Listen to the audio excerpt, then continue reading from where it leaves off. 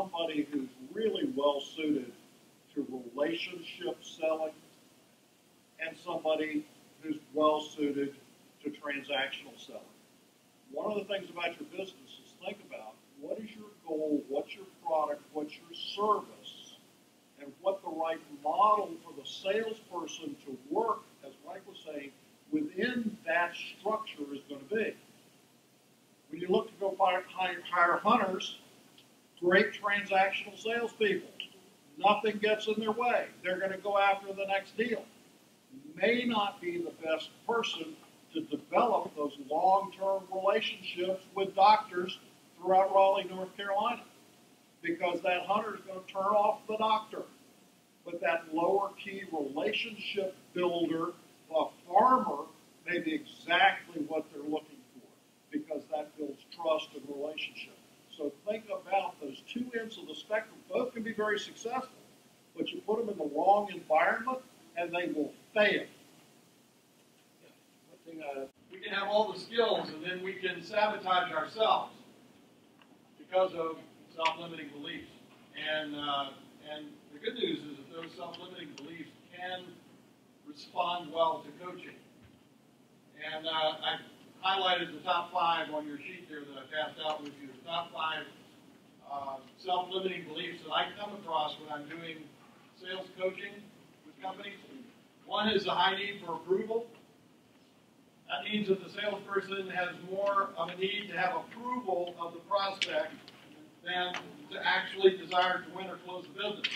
And so they they get afraid to ask the, the hard questions because they're afraid that the prospect might get upset with them. That's a big one. Uh, non-supported buy cycle. Many people don't don't understand this, but if you think about it, it really makes sense.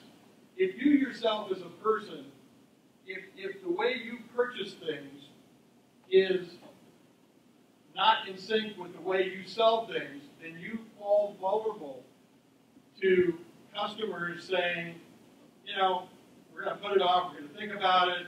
They, when customers lie to you, when they when they uh, they do other things uh, that you're trying to close the, the, the business with and you're not getting anywhere. And you're more vulnerable to those things if you yourself do those in your personal buying habits. The third one is issues with money. There's a lot of people that have issues with talking about money. And that can, that can also cause problems because if you're with a prospect and you need to know what their budget is for the things that you're selling, or you need to, you need to know some something about the financial part of this as a qualifier, then uh, you're more apt to not ask those questions. And tendency to get emotionally involved.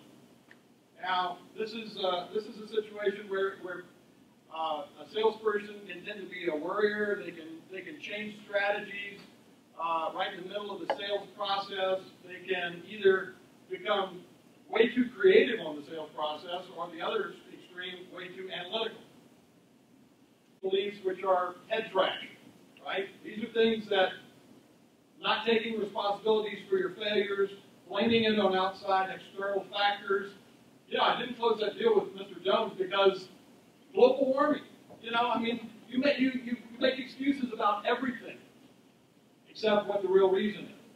So those are the those are the basic things that respond well to sales coaching, and uh, sales coaching either internally through a coaching mechanism company has, or externally if, if uh, or mentoring is needed. Thank you.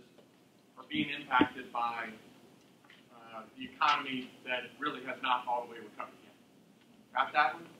All right, who's being impacted by the, uh, not, not the advent, but the onrush of e-commerce? Is that a big deal? How are your customers buying? And then the last one I want to talk about is um, this generation called the baby boomers. Y'all know about these folks, right? Maybe got one or two in the room. This is the demographic element group that paid for most of America for a long, long time. And what's happening to them? They're getting old. They're aging out. There's my mom. She's 72, right? And she's not, no more kids you know, uh, all we want her to do is pay for the grandkids' college education. I, I just think that that's fundamentally changing our approach and our thought about, you know, why someone should do business with us. The distribution model of e-commerce has changed it totally for banking. These guys over here know it, right? With me, and then you think about well, who's the target market uh, anyway. It is is a critical time uh, to have a sound grasp on, you know, what is it that is our brand? What is it that we do? Because your competitive advantage is not what you say; it